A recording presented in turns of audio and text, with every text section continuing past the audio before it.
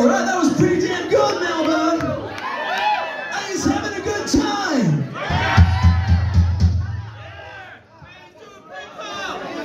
I know. Who's gonna leave here tonight with someone?